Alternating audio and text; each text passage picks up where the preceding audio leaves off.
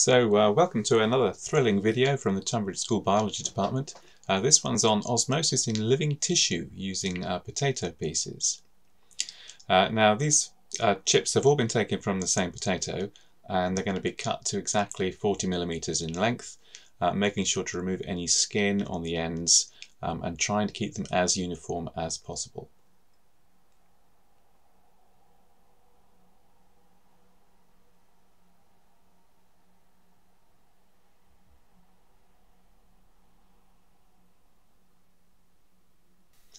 We also prepared a range of different glucose solutions, uh, ranging from 1 mole per dm cubed um, down to pure water.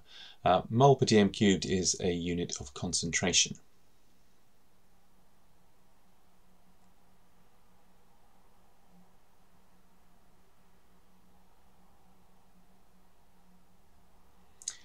Now, using a mass balance, uh, we determine the mass of each individual potato piece and record it in a data table, and then the piece goes into one of the different glucose solutions.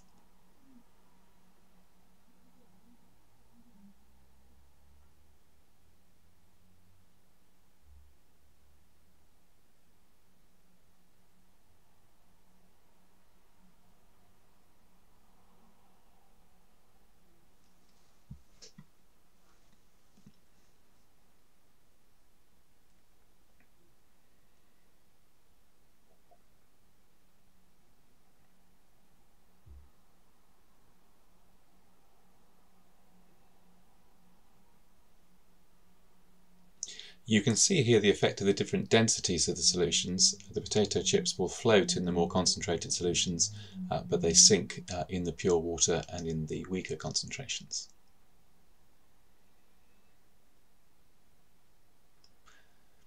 After an hour, uh, we're going to gently blot uh, the chips to remove any excess water on the surface and we're going to weigh them again.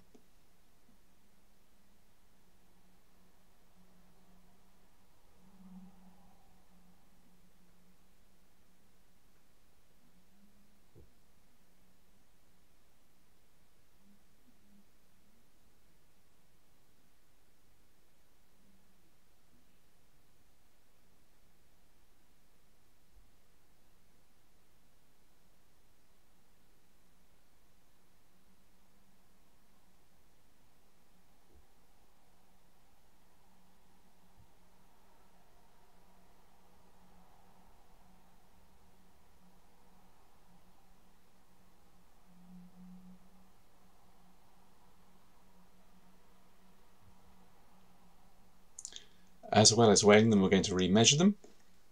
Uh, so we're just going to remeasure the length uh, in millimeters using a ruler.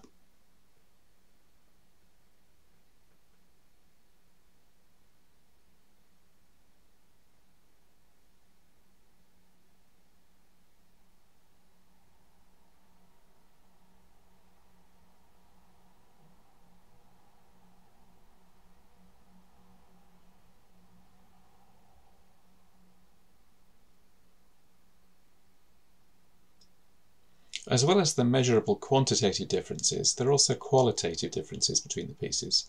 Um, the piece from the concentrated glucose is kind of very bendy in texture. Um, you might describe it as being flaccid or floppy.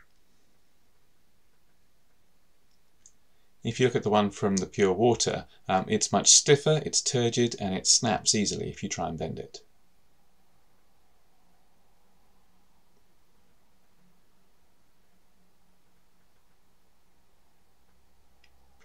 Now, to enable fair comparisons between potato pieces that were different sizes to start with, we're going to calculate percentage change in mass.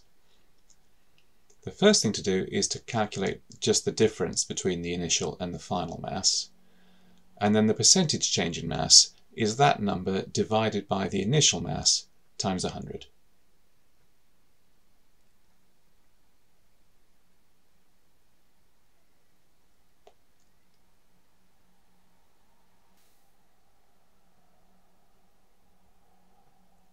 I'm rounding to 1 dp here.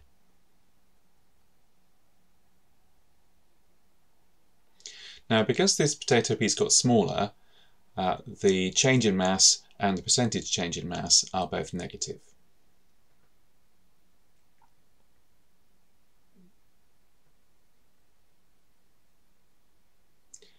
Where the block increases in mass, you end up with a positive percentage change in mass. We can do all the same calculations with the length data, and once again, if the block gets smaller, we'll have a negative change, and if the block gets larger, we'll have a positive change.